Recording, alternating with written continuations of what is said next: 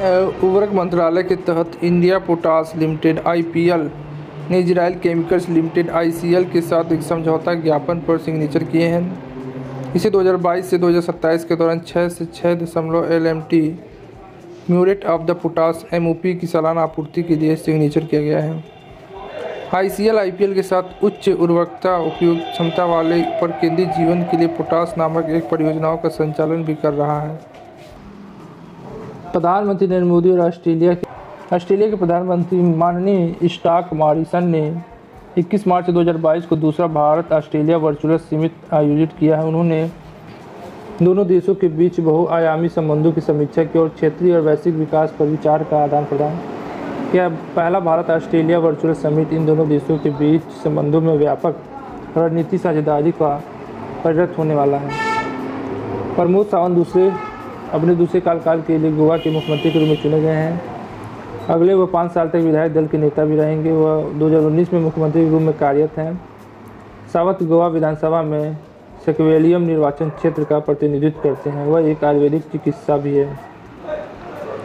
Kotak Mahindra virtual fund MF को Kotak Nifty सौ low volatility thirty ETF exchange traded fund launch किया है। यह एक ओपन एडेड स्कीम है जो निफ्टी सौ लो वोलेंटी तीस इंडेक्स की प्राकृतिक ट्रैकिंग करता है। सूचकांक के बारे में एनएससी सूचकांकों की जानकारी अनुसार निफ्टी सौ कम अस्थिरता तीस सूचकांक का उद्देश्य बड़े बाज़ार। पूंजीकरण खंड में कम अस्थिर प्रतिभूतियों को प्रदर्शन को मापना है। एयरटेल समर्थ वन वेब ने अपने शेष उपग्रहों को लॉन्च करने के लिए अमेरिका अंतरिक्ष ऑपरेटर स्पेस एक्स को चुना है। कंपनी छः सौ अड़तालीस लो अर्थ ऑर्बिट एलियो उपग्रहों का एक समूह बना रही है, जिनमें से चार सौ अट्ठाईस उपग्रह या दो तिहाई तारामंडल पहले ही कक्षा में तैनात किए जा चुके हैं। वन वेव में नियंत्रित परीक्षा रूटी, रूसी रॉकेट सोयूज द्वारा किया जा रहा है।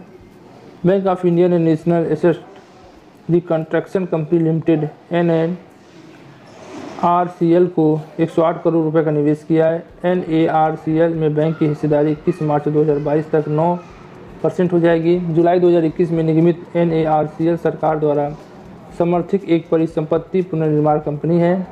बैंक ऑफ़ इंडिया वित्त मंत्रालय के स्वामित्व वाला एक भारतीय राष्ट्रीयकृत बैंक भी है। विश्व कठपुतली दिवस प्रत्येक 21 मार्च को मनाया जाता है, जिसका उद्देश्य कठपुतली को बढ़ावा देना और दुनिया भर में कठपुतली चलाने वाले का सम्मान करना है। यह दिवस पहली बार 2003 में मनाया गया था, जब यूनियन इंटरनेशनल लेडा मेरियनेट की इसकी स्थापना की थी। कठपुतली तीन सौ ईसा पूर्व की एक पुरानी थिएटर तकनीक है। 2022 में थीम द सी है। संस्कृति मंत्रालय के तहत एक स्वायत्त निकाय संगीत नाटक अकादमी नई दिल्ली इक्कीस मार्च 2022 को पुतुल उत्सव, एक कठपुतली उत्सव का आयोजन कर रहा है। उत्सव का विषय आज़ादी के रंग, पुतुल के संग। इस आयोजन में कठपुतली के माध्यम से भारत के स्वतंत्र संग्रामी के किस्से सुनाए जाएँगे। यह पाँच शहरों वाराणसी, हैदराबाद, अंगुई, नई दिल्ली और अगरतला में मनाया जाएगा। संयुक्त राज्य महासभा ने 26 अक्टूबर उन्नीस को एक प्रस्ताव अपनाया, जो प्रतिवर्ष 21 मार्च को इस दिवस के रूप में मनाने की घोषणा की है।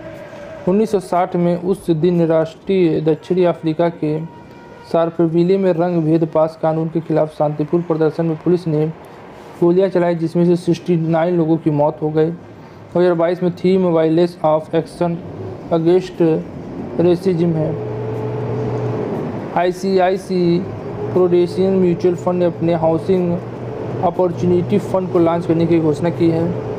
यह एक ओपन इंडेस इक्विटी स्कीम है जो उन कंपनियों में निवेश करेगी जो हाउसिंग थीम में वृद्धि से लाभान्वित होने वाला और या इस प्रकार के कार्यों में संलग्न हैं। यह स्कीम निफ्टी हाउस इंडेक्स के अंतर्गत आने वाले बुनियादी पात्र उद्योगों में निवेश करेगी। नया फंड ऑफ़र 28 मार्च को खुलेगा और 11 अप्रैल 2022 को बंद हो जाएगा। तो अगर आप हाउस लेना चाहते हैं तो ले सकते हैं। तो आज के लिए बस इतना ही। फिर मिलते हैं नई वीडियो में। जय हिंद, जय भारत।